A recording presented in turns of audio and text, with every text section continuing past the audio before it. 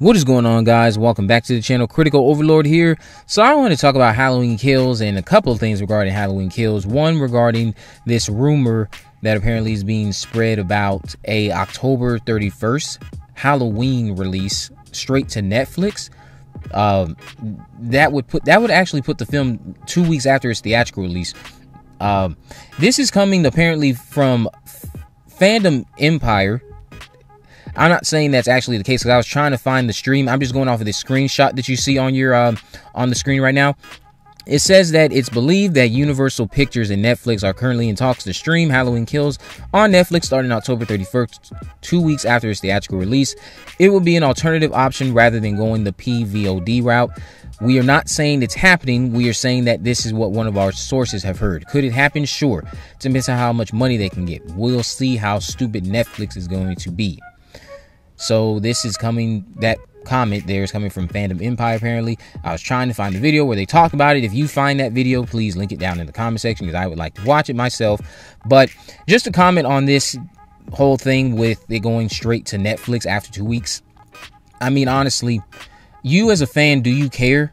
So I feel like fans are going to be watching the movie in theaters for the most part two weeks ahead of time anyway. I honestly think that if there are no future delays that come, like what has happened with Clifford prior to the Halloween Kills release in October, I think Halloween Kills is going to be just fine during its first two weeks in theaters anyway, especially amongst horror fans that have been waiting for this movie since last year after it got delayed. So, what I would expect is, despite it going to Netflix two weeks after its theatrical release, it won't necessarily be a big deal to those die-hard horror fans and maybe even the general public because I feel like this movie again will be a box office hit. So coming out on Netflix two weeks after its release, just to stream, and I guess still being in theaters simultaneously. I mean, if you want to wait that long, go ahead and watch it on Netflix. But I, I feel like the most of us, especially the majority of you who probably watch me, I think you're going to be right there in theaters during those first two weeks anyway. You'll probably have seen the movie before Halloween comes anyway. or what you'll do is even if it still goes to Netflix on Halloween, you'll go straight to the theater on Halloween night if you're someone who wants to do that, and you'll watch the movie in theaters like that. You won't wait till just watch it at home on Netflix, especially if it's something you've been waiting to see on the big screen since last year when it got delayed, unfortunately. I, I don't care one way or another about that. If it happens, it happens. The other thing I want to talk about was the leak of the soundtrack that happened Fandom Empire confirmed this in one of their recent streams. I did look at that, so if you watch that video, you know what I'm talking about. The soundtrack and the track list did leak. I don't know all the tracks titles off the top of my head. They one of them I believe was called Unkillable. Some of them are said to be very spoiler heavy, so if you want to read them or find them out there on Reddit or wherever you want to go find them at, go do that yourself.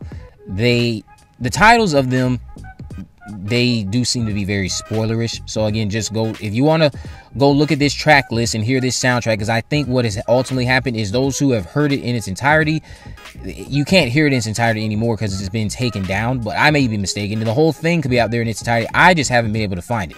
One track I did hear was Unkillable for the most part.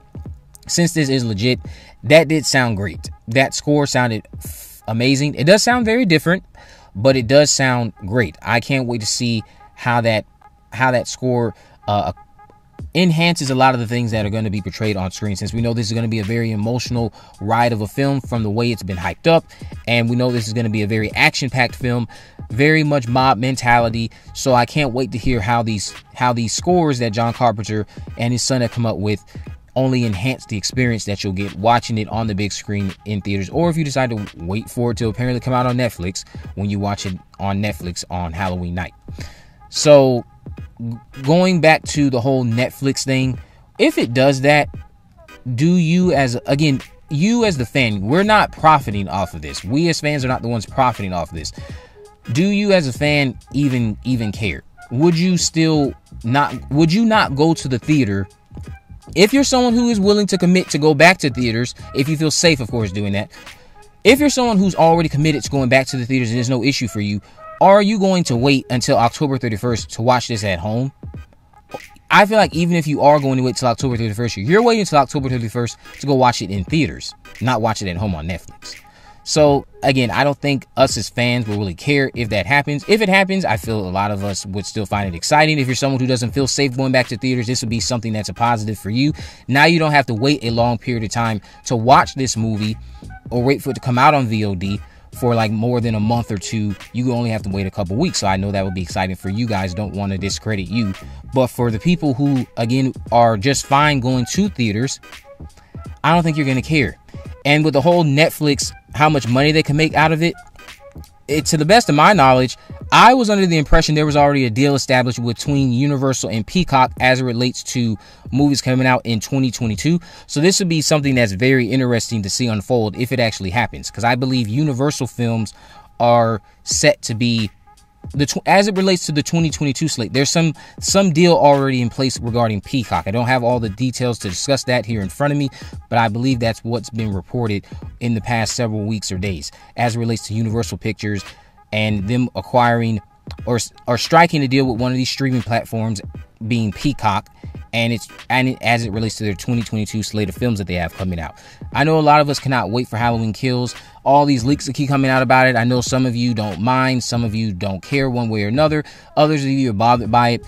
Me personally, when it comes down to it, like I said before, I don't care if I know the film front ways or backwards. I haven't read the entire script. I've told you what I read. I read that last little bit just to see how it ended, to understand why a time jump will even be warranted.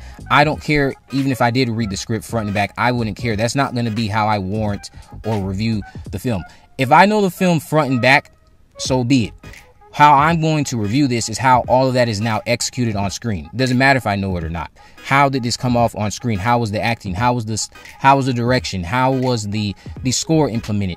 How was the script? Was the script something that was e like coherent enough to be considered a good film? How was the direction? How was the cinematography? All those different things that go into it. I don't really care if I know the film frontwards or backwards going into it already. I need to see how it's executed. That's how I want to review it, not off of a script that I read.